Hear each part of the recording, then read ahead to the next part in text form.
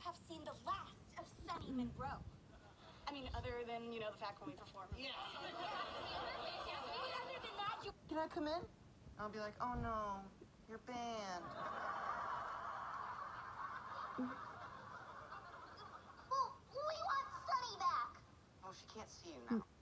Well, She's tied up. For good. Okay, she's one of us now.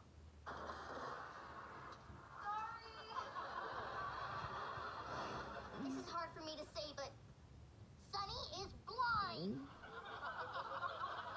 What do you mean she's blind? Well, he said that she couldn't see me. And and that could only mean one thing. Blind. Oh, and they've got her all tied up in a bell tower. How do you know? Well, I heard this loud chime. You sure it wasn't a gong in a meditation room? Oh, that's insane. I'm telling you, something smells fishy. This is like that episode of Mackenzie Falls where they where they blinded that girl and brainwashed her. Not that I watch it. Not that I watch it either. But that was never an episode.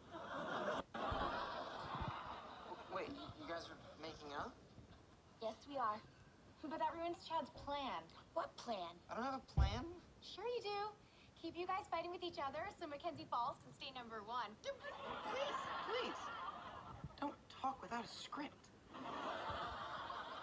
So you were just pretending to be my friend. Okay?